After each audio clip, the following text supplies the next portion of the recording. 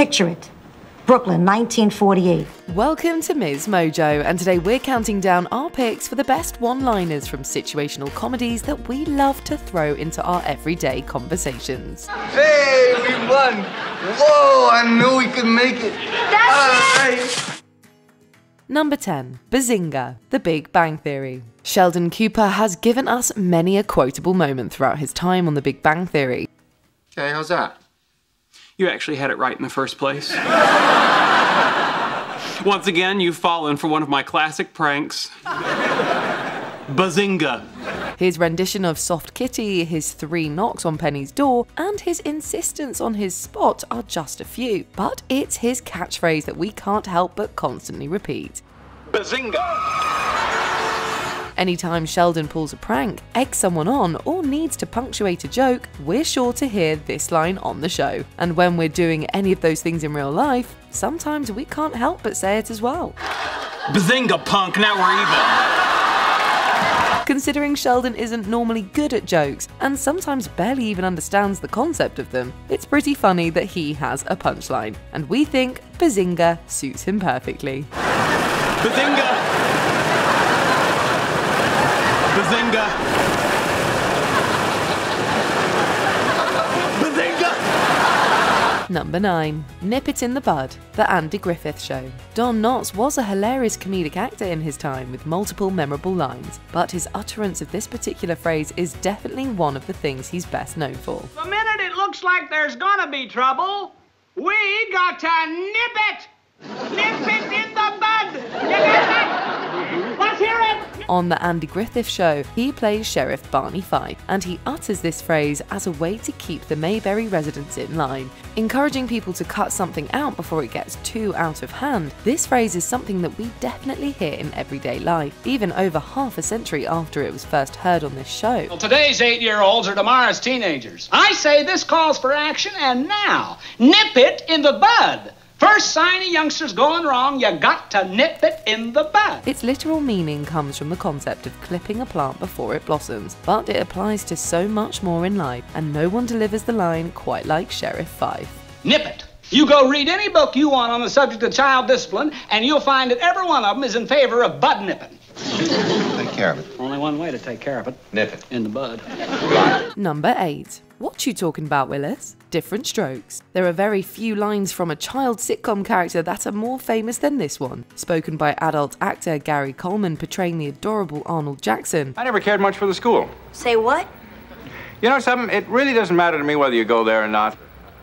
Who'd you talking about? Whenever Arnold is confused, taken aback, or appalled by anything his older brother says or does, he utters this line, and it's just as hilarious as it is adorable. Come off those clouds, little brother. Huh? Don't get too used to this place. What you talking about, Willis? This show is generally full of funny, emotional, and relatable moments, and this iconic catchphrase is certainly no exception. Always said with a cocked eyebrow and a sassy tone, Arnold's line never fails to make us laugh, and we love emulating it every chance we get. What you talking about, Willis? I said ignore her. If I ignore her, she knows I like her. That's it. I got a better idea. I'll ignore you. Number 7. Missed It by That Much. Get Smart. A classic show from the 60s, Get Smart certainly has a lot of quotable moments, most of them from the star of the show himself, Mr. Maxwell Smart. From and loving. To- Would you believe it? all the way to even more memeable phrases. Our favourite bumbling spy has had us in stitches more times than Hymie has hopped to it. But it's Smart's most famous line that we find ourselves repeating in our own lives time and again. Missed it by that much. The line is self explanatory, and even though Max uses it when he narrowly escapes disaster or even death, we use missed it by that much when we're on the cusp of something and just fall short. Missed me by that much. Number 6. Did I do that? Family Matters. Steve Urkel is a classic character who may have started on the sidelines, but he became arguably the most memorable aspect of Family Matters, and particularly known for uttering this immortal phrase. Did I do that? Urkel is an over the top nerd with impeccable physical comedy, and the antics in which he finds himself are almost as laughable as the sentence he utters when his hijinks ensue. What a lovely house.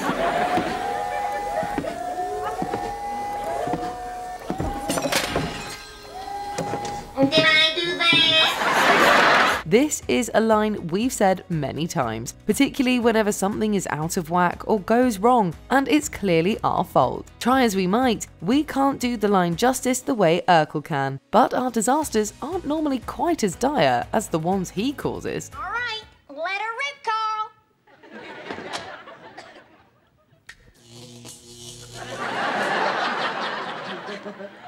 Did I do that? Number 5. You got it, dude.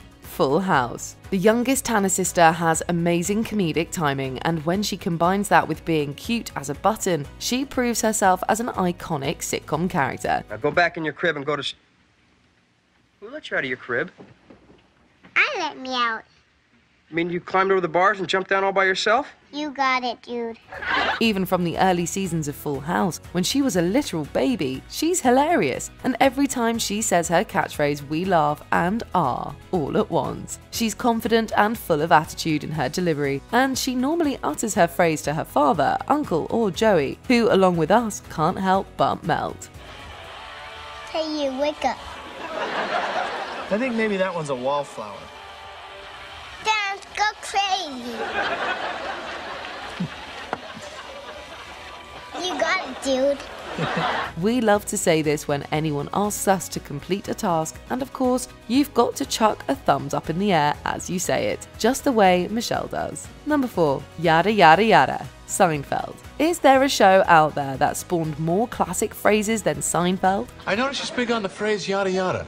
Is yada yada bad? Oh, yada yada's good. She's very succinct. Lines like double dipping, spongeworthy, and hello Newman have entered the zeitgeist. But it's the yada yada yada that we can't help but use pretty much on a daily basis. It's a way of breezing over unimportant parts of the story, and we love using it when we just want to get to our point.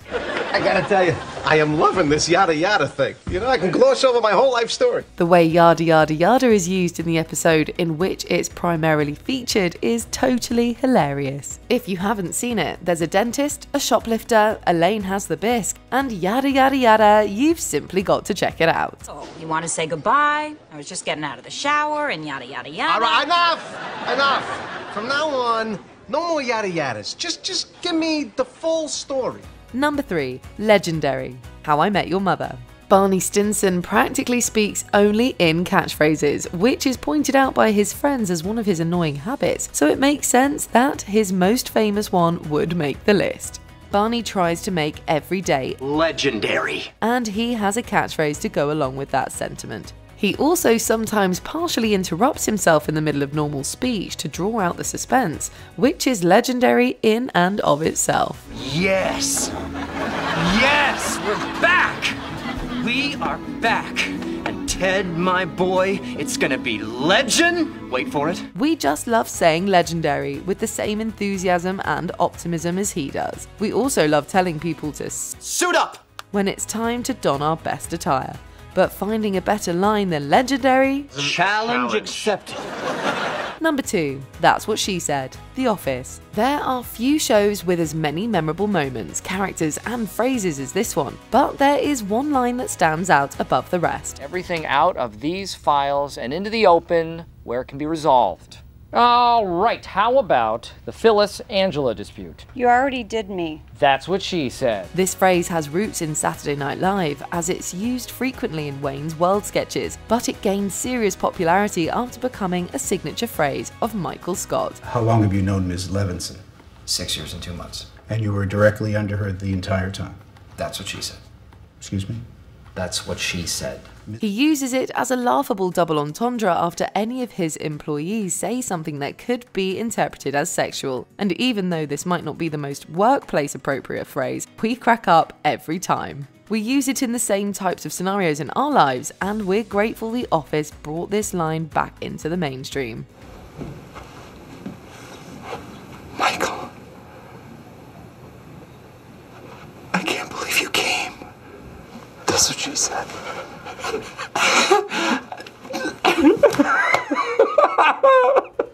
Before we continue, be sure to subscribe to our channel and ring the bell to get notified about our latest videos. You have the option to be notified for occasional videos or all of them. If you're on your phone, make sure you go into your settings and switch on notifications. Number 1. How you doing? Friends. It only makes sense that the most memorable and easily reusable sitcom line comes from one of the greatest sitcoms and sitcom characters of all time. But this is Chandler. And you know Monica and Ross. and that's Phoebe. And that's Joey. Hey, how you doing? Joey Tribbiani is one of the more well-known ladies' man on any TV series, and it's only fitting that he has a pickup line to go along with this persona. It's his opening line when he's talking to women, and most of the time the ladies melt. I look a woman up and down and I say, hey, how you doing? Oh, please. Hey, how you doing? Is it really so simple asking someone how they're doing, but in a sultry, even suggestive tone? No wonder we jokingly recreate this every chance we get. We just wonder if anyone would actually fall for this as a pickup line decades after it was originally heard on Friends. Hi, Joey. Hey, how you doing? Which one of these lines do you find yourself using on the daily? Let us know in the comments. That wasn't challenge accepted. In the next 24 hours, I'm going to do every single thing on this list. Do you agree with our picks? Check out this other recent clip from Ms. Mojo. And be sure to subscribe and ring the bell to be notified about our latest videos.